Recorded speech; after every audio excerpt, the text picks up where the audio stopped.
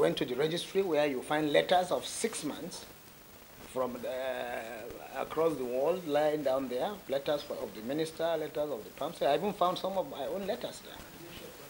Yes, here in the headquarters. So that means there is a disconnect in terms of communication between the ministry and the embassy. And that is why even if you appropriate funds to the embassies, because we appropriate funds directly to the embassies, so they have their accounts there. But they must come down to Nigeria to get approval before they can spend those funds. So it takes, you find capital expenditure in the account for like three years, four years in some cases. And the reason you, they will give is, is for lack of approval. And uh, uh, the embassies are dilapidated.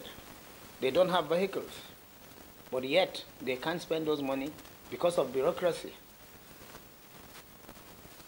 So in its wisdom, the leadership of the uh, House of Representatives, uh, the National Assembly now included in the 2021 Appropriation Act, this Act, Clause 11, Section 11 of the Act, to say let's allow the embassies to spend their monies without having to come back to Nigeria or somebody for you to just uh, maybe build a fence of 50 meter, a collapse fence in an ambassador's house like 50 meters.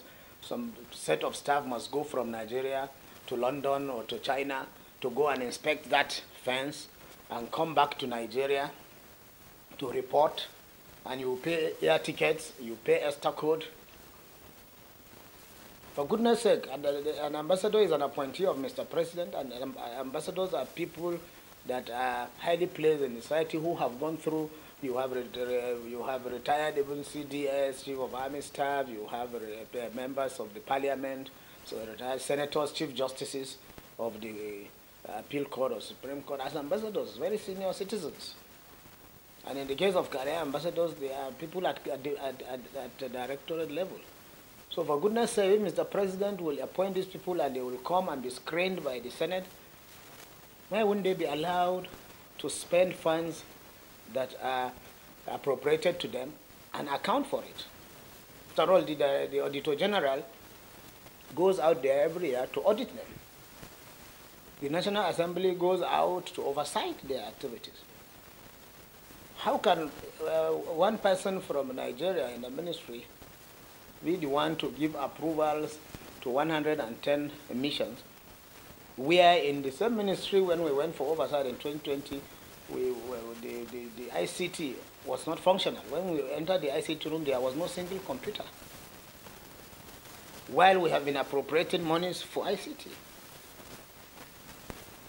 So if, you, if there is no good communication, where an ambassador is applying uh, for approval to repair maybe a blown off roof by the rains, before you get approval, the house must have collapsed on it. So it is really terrible. And uh, now the National Assembly have put that clause, and Mr. President has assented to it. And this is it, and it is now a law. As far as it is a law, it is bound on every Nigerian, because nobody is above the law, to obey the law.